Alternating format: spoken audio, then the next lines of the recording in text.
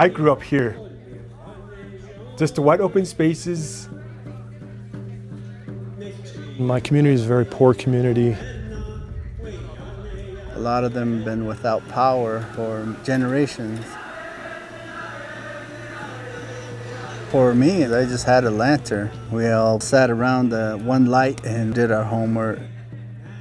I think public power is the best thing that any community can expect. It's a rural community. Closest border town is three hours away. We make do with what is out here, just living off the land. It creates a challenge for us connecting customers with power. We cover 27,000 square miles. We average about five customers per mile.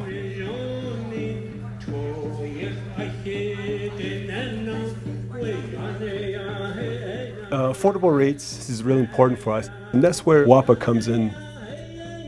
Our customers per average capital is about $10,700 a year. The rest of the United States is $47,000 a year. So that basically telling how important affordable utility services for those residents. WAPA's partnership has really been instrumental in keeping our rates down. Our traditional partner of the last 30 years was changing their rate structures and it was getting very, very expensive to balance our loads. So we looked at three or four different partners and WAPA by far was our best choice and has been our best partner long term.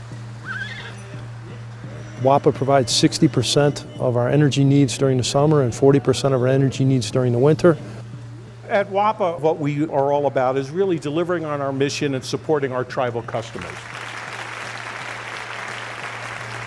That's what keeps our rates low and our costs low, which we can pass it on directly to our customers. Also there to help us in terms of operations and maintenance of our systems. Their customer service has been really, really good for us. The staff has been wonderful. We always enjoy our relationship with WAPA. Our rates are lower than the surrounding community rates, and that wouldn't be possible without having this public power to public power relationship. WAPA's partnership has really been instrumental in getting them a service that they never had before. It's really what drives me. The value of public power is tremendous. Public power is going to work in the best interest of that community, its partnership with the community, it looks for the best interest of their customer. I see all the lights on. I feel good, like I'm part of something, giving something back to our people. It's a win-win, I think, on both sides. The flip of a switch and the light was on. He was so happy that now that we have electricity, they get to study. Once they turn on the light switch, that feeling, it's really heartfelt to make their life a little easier.